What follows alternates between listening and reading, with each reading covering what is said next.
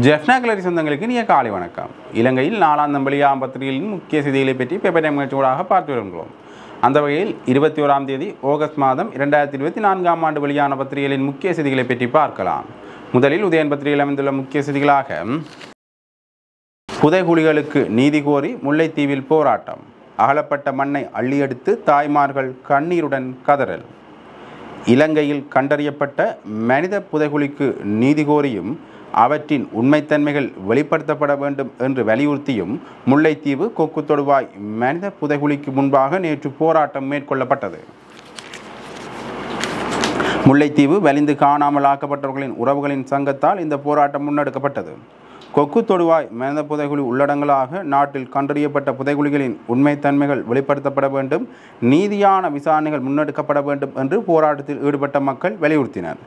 காணாமல் ஆக்கப்பட்டோர் விடயத்தில் விசாரணை நடத்துவதற்காக ஸ்ரீலங்கா அரசாங்கத்தால் அமைக்கப்பட்ட விசாரணை ஆணைக்குழு ஏமாற்று வேலை.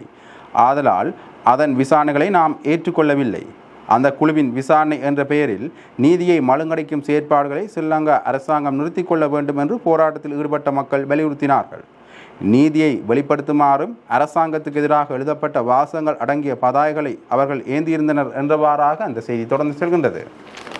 முதற் பக்கத்தில் அமைந்துள்ள மற்றொரு முக்கிய செய்தியாக மாதிரி வாக்குச்சீட்டை வெளியிட்டது ஆணைக்குழு. ஜனாதிபதி தேர்தலின் வாக்குச்சீட்டு மாதிரி வெளியிடப்பட்டுள்ளதாக தேர்தல் ஆணைக்குழு அறிவித்துள்ளது. முப்பத்தொன்பது வேட்பாளர்களின் பெயர்களை கொண்ட இந்த மாதிரி சீட்டு நேற்று முன்தினம் வெளியிடப்பட்டுள்ளது. இலங்கை ஜனாதிபதி தேர்தல் வரலாற்றில் நீளமான வாக்குச்சீட்டாக இது அமைந்துள்ளது என்றவாறாக அந்த செய்தி காணப்படுகின்றது. முதற் பக்கத்தில் அமைந்துள்ள மற்றொரு முக்கிய செய்தியாக தேர்தல் செலவு சட்டத்தை ஆணைக்குழு மீறியுள்ளது. வழக்கு தொடர்வோம் என விஜயதாச கடும் காட்டம். ஜனாதிபதி தேர்தலின் போது வாக்காளர் ஒருவருக்கு நூற்றி ஒன்பது ரூபா அடிப்படையில் வேட்பாளர்களால் செலவிட முடியும் என்று தேர்தல் ஆணைக்குழு அறிவித்துள்ளமையானது. தேர்தல் செலவு கண்காணிப்பு சட்டத்தை மீறியிருக்கும் செயலாகும் என்று ஜனாதிபதி வேட்பாளர் விஜயதாச ராஜபக்ச தெரிவித்துள்ளார். ஆணைக்குழுவின் இந்த அறிவிப்பால் மக்களின் எதிர்பார்ப்பு வீணடிக்கப்பட்டுள்ளதுடன் இது தொடர்பில் நீதிமன்றத்தில் அடிப்படை உரிமை மீறல் வழக்கு தொடரப்போவதாகவும் விஜயதாச ராஜபக்ச கூறியுள்ளார். அவர் மேலும் தெரிவித்துள்ளதாவது வீதாசார தேர்தல் முறையில் இடம்பெற்று வரும் மோசடிகளை தவிர்ப்பதற்காக தேர்தல் செலவு கண்காணிப்பு சட்டத்தை மிகவும் சிரமத்துக்கு மத்தியில் நாங்கள் நாடாளுமன்றத்தில் நிறைவேற்றினோம். ஊழலுக்கு எதிர்ப்பு என தெரிவித்துக் கொள்ளும் எதிர்க்கட்சிகள் இந்த சட்டத்தை நிறைவேற்ற அனுமதிக்கவில்லை. கடும் எதிர்ப்பை தெரிவித்தன. இருப்பினும் நிறைவேற்றினோம். தேர்தல் செலவு கண்காணிப்பு சட்டம் ஆர்வமாக உள்ளூராட்சி மன்ற தேர்தலிலேயே நடைமுறைப்படுத்தப்பட்டிருந்தது. என்றாலும் அந்த தேர்தல் இன்னும் இடம்பெறவில்லை. தற்போது இடம்பெற இருக்கும் ஜனாதிபதி தேர்தலில் இந்த சட்டம் நடைமுறைக்கு வருகின்றது என்று அவர் குறிப்பிட்டுள்ளார் என்றவாறாக அந்த செய்தி தொடர்ந்து செல்கின்றது. முதற் பக்கத்தில் அமைந்துள்ள மற்றொரு முக்கிய செய்தியாக அரசியல் விவாதத்தில் எம்பிக்கள் கைகலப்பு. தனியார் தொலைக்காட்சி ஒன்றில் நேற்று நடந்த அரசியல் விவாத நிகழ்ச்சியின் போது கடும் சொற்போரில் ஈடுபட்ட தமிழ் நாடாளுமன்ற உறுப்பினர்கள் இருவர் அடிதடியில் ஈடுபட்ட சம்பவம் ஒன்று நேற்று இடம்பெற்றுள்ளது. தனியார் தொலைக்காட்சி ஒன்றில் நேற்றிரவு ஒளிபரப்பான அரசியல் விவாத நிகழ்ச்சிக்கான ஒளிப்பதிவு நேற்று பிற்பகல் வேளை நடைபெற்றது. குறித்த அரசியல் விவாத நிகழ்ச்சியில் நான்கு அரசியல்வாதிகள் பங்கேற்றிருந்தனர். இதில் நாடாளுமன்ற உறுப்பினர்களான வேலுகுமார் மற்றும் திகாம்பரம் இருவருமே இவ்வாறு கைகலப்பில் ஈடுபட்டுள்ளனர். தமிழ் முற்போக்கு கூட்டணியில் இருந்து ஜனாதிபதிக்கு ஆதரவு வழங்கியுள்ள வேலுகுமார் எம்பியை திகாம்பரம் துரோகி என விழிக்க அதற்கு வேலுகுமார் பதிலடி கொடுத்துள்ளார் என்றவாறாக அந்த செய்தி தொடர்ந்து செல்கின்றது இரண்டாம் பக்கத்தில் அமைந்துள்ள முக்கிய செய்திகளாக பயணம் வழிமாறினால் நாட்டுக்கு வீழ்ச்சியே ஜனாதிபதி ரணில் சுட்டிக்காட்டு. சரியான பொருளாதார மாற்றமின்றி நெருக்கடியை தீர்க்கும் வேலை திட்டத்தை பாதியில் நிறுத்தினால் நாட்டின் பொருளாதாரம் மீண்டும் வீழ்ச்சியடையும் என ஜனாதிபதி ரணில் விக்ரம்சிங்கே தெரிவித்துள்ளார். நிகழ்வொன்றில் கலந்து கொண்டு உரையாற்றும் போதே ஜனாதிபதி இதனை குறிப்பிட்டுள்ளார். சில கட்சிகள் உள்ளூர் பொருளாதாரம் பற்றி பேசுகின்றன. நாடு எதிர்நோக்கும் பொருளாதார நெருக்கடிக்கு தீர்வு காண புதிதாக சிந்தித்து கட்சி பேதமின்றி புதிய வேலை திட்டத்திற்கு செல்ல வேண்டும். அதற்காக ஒரு பெரும் குழு என்னுடன் இருக்கின்றது. அதனால் தான் சுயேட்சை வேட்பாளராக போட்டியிட தீர்மானித்துள்ளேன் நாட்டில் கடந்த எழுபத்தைந்து வருடங்களாக முன்னெடுத்து சென்ற சித்தாந்தங்கள் காரணமாகவே நாட்டில் விரைவான பொருளாதார வளர்ச்சியை எட்ட முடியவில்லை. எனவே இவ்வருட ஜனாதிபதி தேர்தலில் மக்கள் தமது எதிர்காலம் குறித்து சிந்தித்து முடிவெடுக்க வேண்டும் என்றும் அவர் குறிப்பிட்டுள்ளார் என்றவாறாக அந்த செய்தி காணப்படுகின்றது. அதே பக்கத்தில் அமைந்துள்ள மற்றொரு முக்கிய செய்தியாக சிலிண்டர் சின்னம் ரணில் விளக்கம். ஒரு சுயேட்சை வேட்பாளர் எந்த சின்னத்தையும் தேர்வு செய்யலாம். இந்த நேரத்தில் எரிவாயு சிலிண்டரே மிகவும் பொருத்தமான சின்னம் என்று ஜனாதிபதி ரணில் விக்ரம்சிங்கே தெரிவித்துள்ளார். ஜானை சின்னத்துக்கு பதிலாக எரிவாயு சிலிண்டரை ஏன் தெரிவு செய்தீர்கள் என்ற கேள்விக்கு ஜனாதிபதி விளக்கமளித்த போதே அவர் இதனை குறிப்பிட்டுள்ளார். அரசியல் கட்சிகளை ஒதுக்கி வைக்க வேண்டும் என்ற கருத்து இன்று வலுவாக உள்ளது. இதன் அடிப்படையில் நமது அரசியல் அணுகுமுறையை மறுபரிசீலனை செய்ய வேண்டும். பல்வேறு குழுக்களுடன் இணைந்து பணியாற்றியதால் சுயேட்சையாக போட்டியிட முடிவு செய்துள்ளேன். ஒரு சுயேட்சை வேட்பாளர் எந்த சின்னத்தையும் தேர்வு செய்யலாம். இந்த நேரத்தில் எரிவாயு சிலிண்டரே மிகவும் பொருத்தமான சின்னம் என்று நான் உணர்ந்தேன் என்றும் அவர் குறிப்பிட்டுள்ளார் என்றவாறாக அந்த செய்தி காணப்படுகிறது இவை உதயன் பத்திரிகையில் அமைந்த முக்கிய செய்திகள். இனி விளம்பரி பத்திரிகையின் முக்கிய செய்திகளை பற்றி பார்க்கலாம். விளம்பரி பத்திரிகையின் முதற் பக்கத்தில் அமைந்துள்ள முக்கிய செய்திகளாக ஜனாதிபதி தேர்தலில் இந்தியா தலையிடாது திருவாய் மலர்ந்தார் இந்திய தூதுவர். இலங்கை ஜனாதிபதி தேர்தலில் இந்தியா உள்ளிட்ட வெளிநாடுகள் மறைமுகமாக காய் நகர்த்துவதாக பலதரப்பட்ட விமர்சனங்கள் எழுந்த நிலையில் இந்தியாவின் நட்பு இலங்கையருடனேயே மக்கள் ஆணைக்கே இந்தியா முன்னுரிமை வழங்கும். இலங்கை மக்கள் தெரிவு செய்யும் எந்த ஜனாதிபதியுடனும் அரசாங்கத்துடனும் இணைந்து பணியாற்ற இந்தியா தயாராக உள்ளது என இலங்கைக்கான இந்திய ஸ்தானிகர் சந்தோஷ் ஷா தெரிவித்துள்ளார். கண்டியில் பௌத்த மத தலைவர்களுடனான சந்திப்பின் பின்னர் அவர் இதனை தெரிவித்துள்ளார். இலங்கை மக்களின் தெரிவுகளை மதிப்பது குறித்த இந்தியாவின் உறுதிப்பாட்டையும் இரண்டு நாடுகளில் எவர் ஆட்சி செய்தாலும் வலுவான இருதரப்பு உறவுகளை பேணுவது குறித்த உறுதிப்பாட்டையும் அவர் வெளிப்படுத்தியுள்ளார் என்றவாறாக அந்த செய்தி தொடர்ந்து செல்கின்றது. முதற் பக்கத்தில் அமைந்துள்ள மற்றொரு முக்கிய செய்தியாக அரகலையவின் பிரதான சூத்திரதாரி ஜனாதிபதி ரணில் விக்ரமசிங்கவே பகிரங்கப்படுத்தினார் நாமல் எம்பி. அறகலைய போராட்டத்தில் ஈடுபட்ட பலர் தற்போது ஜனாதிபதி செயலகத்தில் பணிபுரிவதாக தெரிவித்த ஸ்ரீலங்கா பொதுஜன பிரமணவின் ஜனாதிபதி வேட்பாளர் நாமல் ராஜபக்ச ஜனாதிபதி ரணில் விக்ரம்சிங்கவும் போராட்டத்தின் ஸ்தாபகரே என கூறியுள்ளார்.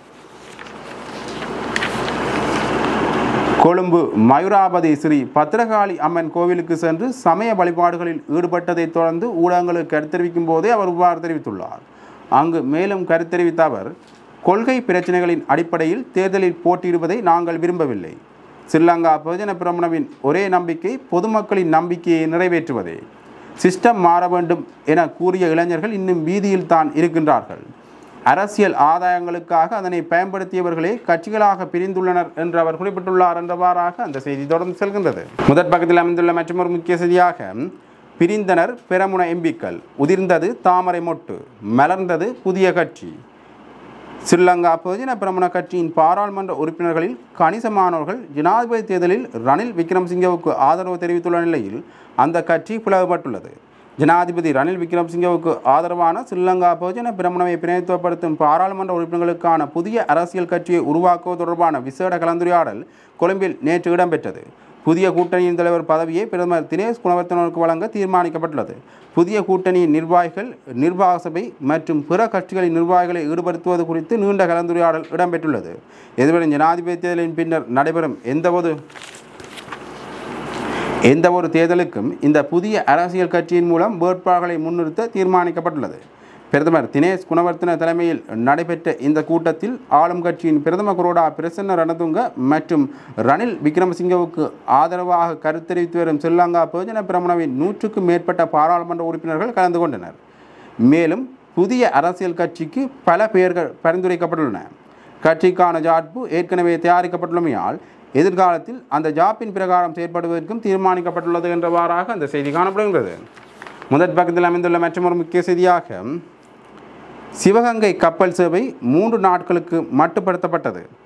காங்கேசன் துறைக்கும் நாகப்பட்டினத்திற்குமான பயணிகள் கப்பல் சேவை வாரத்தில் மூன்று நாட்களுக்கு மட்டுப்படுத்தப்பட்டுள்ளதாக சிவகங்கை கப்பல் நிறுவனத்தின் பணிப்பாளர் நிரஞ்சன் தெரிவித்துள்ளார். போதிய அளவான முன்பதிவு இல்லாமை காரணமாக இந்த தீர்மானம் எடுக்கப்பட்டுள்ளதாக அவர் குறிப்பிட்டுள்ளார். குறித்த கப்பல் போக்குவரத்து தொடர்பாக அவர் மேலும் கருத்தெரிவிக்கையில் எதிர்வரும் முப்பத்தொராம் தேதி வரையில் இந்த நடைமுறை காணப்படும். பயணிகள் வருகை அதிகரிப்பின் அடிப்படையில் எதிர்வரும் செப்டம்பர் முதலாம் தேதி முதல் நாளாந்தம் இந்த கப்பல் சேவையை முன்னெடுக்க எதிர்பார்த்துள்ளோம் என்றவாறாக அந்த செய்தி காணப்படுகின்றது. முதற் பக்கத்தில் அமைந்துள்ள மற்றொரு முக்கிய செய்தியாக பாராளுமன்றத்தில் திருடர்கள் அரச நிறுவனங்களில் ஊழல்கள். நிறைவேற்று அதிகாரம் தேவை பொன்சேகா தெரிவிப்பு. பாராளுமன்றம் திருடர்களால் நிறைந்துள்ளது அரச நிறுவனங்கள் ஊழலில் மூழ்கியுள்ளன. அவற்றை சீர் செய்ய ஜனாதிபதியிடம் நிறைவேற்று அதிகாரம் இருக்க வேண்டும். எனவே எக்காரணம் கொண்டும் நிறைவேற்று அதிகாரம் ஒழிக்கப்படக்கூடாது என ஜனாதிபதி வேட்பாளர் சரத் பொன்சேகா தெரிவித்துள்ளார். பாராளுமன்றத்தில் உள்ள திருடர்கள் அகற்றப்பட வேண்டும் எனவும் ஊழல் மோசடிகளை செய்யும் நிறுவனங்களை சுத்தம் செய்ய வேண்டும் எனவும் அவர் வலியுறுத்தியுள்ளார். வரலாற்று சிறப்புமிக்க ருவன் வெளிசாயவில் வழிபாடுகளில் ஈடுபட்ட பின்னர் ஊடகங்களுக்கு கருத்து தெரிவிக்கும் போதே அவர் இவ்வாறு தெரிவித்துள்ளார். அவர் மேலும் தெரிவிக்கையில் நாட்டில் ஊழல் அரசியல் கலாச்சாரம் சூழ்ந்துள்ளது. இந்நிலையிலிருந்து விடுபட அனைவரும் சுதந்திரமாகவும் புத்திசாலித்தனமாகவும் செயற்பட்டு கட்சிகளுக்கு அடிமையாகாமல் தேசிய தலைவர்களிடம் நாட்டை ஒப்படைக்க வேண்டும். ஒரே குழு பல்வேறு அரசியல் கட்சிகளை உருவாக்கி மக்களிடம் வந்தாலும் அவர்கள் நாட்டை பற்றியோ நாட்டின் எதிர்காலத்தை பற்றியோ சிந்திப்பதில்லை. ஐக்கிய மக்கள் சக்தியின் கதவுகளை திறந்துவிட்டதன் மூலம் எந்த திருடனும் கட்சியில் சேரும் வாய்ப்பு உருவாக்கப்பட்டுள்ளது என்று அவர் குறிப்பிட்டுள்ளார் என்றவாறாக அந்த செய்தி தொடர்ந்து செல்கின்றது. இவை விளம்பரி பத்திரிகையில் இந்த முக்கிய செய்திகள். இனி தினக்கோள் பத்திரிகையின் முக்கிய செய்திகளை பற்றி பார்க்கலாம். தினக்கோள் பத்திரிகையின் முதற் பக்கத்தில் அமைந்துள்ள முக்கிய செய்திகளாக புலிகளுக்கு எதிரான சுமந்திரன் தமிழ் தேசியத்திற்கும் துரோகம் இழைக்கிறார். சோம்பேறி தமிழரசு தலைவரை விழித்தல வலியுறுத்தல். புலிகளுக்கு எதிராக செயற்பட்ட பாராளுமன்ற உறுப்பினர் எம். ஏ. சுமந்திரன் தமிழ் தேசியத்திற்கும் துரோகம் இழைத்தது உண்மையென்று மட்டக்களப்பு மறைமாவட்ட ஆயர் அதிவணக்கத்துக்குரிய ஜோசப் பொன்னையா ஆண்டகை வலியுறுத்தியுள்ளார். இது குறித்து ஊடகம் ஒன்றுக்கு அவர் மேலும் தெரிவிக்கையில் தமிழரசுக் கட்சி அன்றும் இன்றும் ஜனநாயக மரபுகளை பேணி பாதுகாத்து வருகிறது. பாராளுமன்ற உறுப்பினர் சுமந்திரன் இந்தியாவுக்கான இலங்கை தூதுவர் சந்தோஷ் ஜா இலங்கை தமிழரின் பிரச்சனைகள் தொடர்பாக கலந்துரையாடி உள்ளார்கள் இக்கலந்துரையாடலுக்கான தொடர்பை தூதுவர் சந்தோஷ் ஏற்படுத்தினாரா அல்லது சுமந்திரன் ஏற்படுத்தினாரா என்பது தெளிவாக தெரியவில்லை. தமிழ் தேசிய பிரச்சனையை ஒரு பலமிக்க நாட்டின் ராஜதந்திரியோடு தமிழரசு கட்சியின் உறுப்பினர் சுமந்திரன் தன்னந்தனியாக சென்று கலந்து பேசுவதற்கு அக்கட்சி அனுமதி கொடுத்ததா? கட்சியின் அனுமதி இன்றி தன்னந்தனியாக இவ்வாறான ஆழமான பிரச்சனையை ஒரு ராஜதந்திரியோடு பேசுவது ஒரு வெளிப்படைத்தன்மை அற்ற நிலையை காட்டுகின்றது. இது பாரிய தவறு. மக்கள் சந்தேகப்படுகின்றார்கள். சுமந்திரன் கடந்த காலங்களிலும் தமிழ் தேசியத்திற்கு துரோகம் இழைத்துள்ளதாக மக்கள் பேசிக்கொள்கின்றார்கள். அவருடைய துரோகம் ஐக்கிய நாடுகள் சபை வரை சென்றிருக்கின்றது. புலிகளுக்கு எதிராக போர்க்குற்ற விசாரணை வேண்டும் என்று முன்மொழிந்தவர் சுமந்திரன். இது பாரிய தவறு. அது மட்டுமன்றி தந்தை செல்வாவினால் விதைக்கப்பட்ட சமஷ்டி கோரிக்கையை தூக்கி எறிந்துவிட்டு புதிய அரசியலமைப்புக்குள் ஏக்கிய ராஜ்யத்தை புகுத்த நினைத்தவர் சுமந்திரன். இது எவ்வளவு பாரிய தவறு. இதையே மக்கள் முன்வைக்கின்றார்கள் என்று அவர் குறிப்பிட்டுள்ளார் என்றவாறாக அந்த செய்தி தொடர்ந்து செல்கின்றது.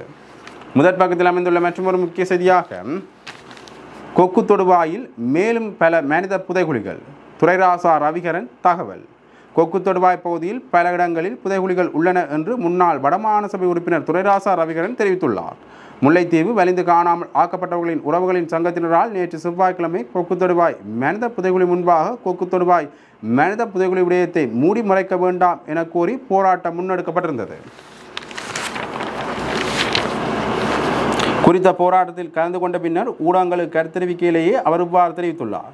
தொடர்ந்து கருத்தெரிவித்த அவர் கொக்கு தொடுவாய் மனித புதைக்குழி விடயமானது ஆரம்பத்திலே நீதிமன்றத்தில் கலந்துரையாடல்கள் இடம்பெற்ற போது பலராலும் வைக்கப்பட்ட கோரிக்கை சர்வதேச பொறிமுறையோடு சர்வதேசத்தினுடைய கண்காணிப்பே வேண்டும் என்பதாகும்.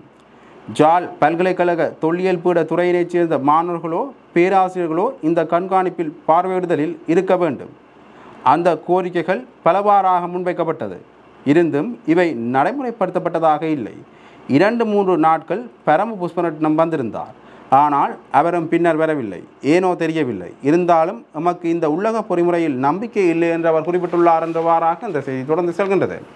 முதற் பக்கத்தில் அமைந்துள்ள மற்றொரு முக்கிய செய்தியாக அரியநேந்திரன் தமிழ் தேசியத்தின் ஓர் அடையாளம் என்பதால் தமிழ் பொது வேட்பாளருக்கு மட்டக்களப்பு ஆயர் பூரண ஆதரவு. தமிழர்கள் ஒன்று திரண்டு வாக்களிக்குமாறு உருக்கமாக கோரிக்கை. இலங்கையில் தமிழர்கள் பூர்வீக குடிகள். அவர்கள் ஒரு தேசிய இனம். அவர்களுக்கு இந்த நாட்டில் ஜனாதிபதி தேர்தலில் களமிறங்கும் உரிமை உண்டு. தமிழர்களின் பொது கட்டமைப்பு அரியநேந்திரனை தமிழ் தேசியத்தின் ஓர் அடையாளமாக தேர்ந்தெடுத்திருக்கின்றது. ஆதலால் தமிழ் தேசியத்தினர் அவரை முழுமையாக ஆதரிக்க வேண்டும். இதனை உருக்கமாக முன்வைக்கின்றேன் என மட்டக்களப்பு மறைமாவட்ட ஆயர் வணக்கத்துக்குரிய ஜோசப் பொன்னையா ஆண்டகை தெரிவித்துள்ளார். இது தொடர்பில் அவர் ஊடகம் ஒன்று கருத்தெரிவிக்கையில் தமிழ் தேசியத்தினர் இதுவரை எட்டு சிங்கள தலைவர்களை ஜனாதிபதி ஆக்குவதற்காக வாக்களித்துள்ளார்கள். வாக்களை பெற்று பதவியில் அமர்ந்தவர்கள் யாருமே தமிழ் தேசியத்தின் குறைகளை அல்லது கஷ்டங்களை ஏறெடுத்தும் பார்க்கவில்லை. அப்படி இருக்கையில் இன்னும் இன்னும் அவர்களுக்கு வாக்களிக்க வேண்டுமா என்று தமிழ் தேசியம் கேட்பதில் தவறேதுமில்லை. தமிழ் தேசியம் ஒரு சிறுபான்மையினம். ஜனாதிபதி தேர்தலில் வெற்றி பெறப்போவதில்லை. ஆயினும் இவ்வளவு காலமும் ஜனாதிபதியாக இருந்த சிங்கள தலைவர்கள் விட்ட பிழைகளை சுட்டிக்காட்டுவதற்கான ஒரு செயற்பாடே தமிழ் பொது கட்டமைப்பினர் அரியநேந்திரனை தெரிவு செய்தமைக்கான காரணமாகும். இந்த தமிழ் பொது கட்டமைப்பினர் தமிழ் மக்களின் சகல பிரச்சனைகளிலும் கலந்து கொள்ள வேண்டும். ஒரு நல்ல தீர்க்கமான முடிவை ஒவ்வொரு விடயத்திலும் வெளிப்படையாக கலந்து பேசி எடுக்க வேண்டும். தமிழ் பொது கட்டமைப்பினர் சிரஞ்சீவியாக நிலைத்து நிற்க வேண்டும். எமது அரசியல்வாதிகளின் கோணல் மாணவர்களுக்கு முகம் கொடுத்து நல்லதை செய்ய வேண்டும் என ஆலோசனை கூறுகின்றேன் என்றார் என்றவாறாக அந்த செய்தி காணப்படுகின்றது. முதற் பக்கத்தில் அமைந்துள்ள மற்றொரு முக்கிய செய்தியாக உயிர்த்த ஞாயிறு தாக்குதல் நாம் வந்தால் நிச்சயம் தீர்வு. உயிர்த்த ஞாயிறு தாக்குதலால் பாதிக்கப்பட்டவர்களுக்கு தமது அரசாங்கத்தில் நியாயத்தை பெற்றுக் கொடுக்க நடவடிக்கை எடுப்போம் என்று தேசிய மக்கள் சக்தி ஜனாதிபதி வேட்பாளரான அன்றகுமார் சிநாயக்க தெரிவித்துள்ளார்.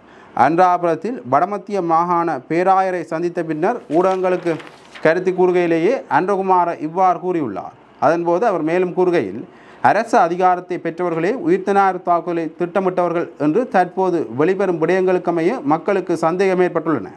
இதனால் ஒருபோதும் தாக்குதலை திட்டமிட்டவர்கள் தாக்குதாரிகளுக்கு தண்டனை கொடுக்கப் போவதில்லை.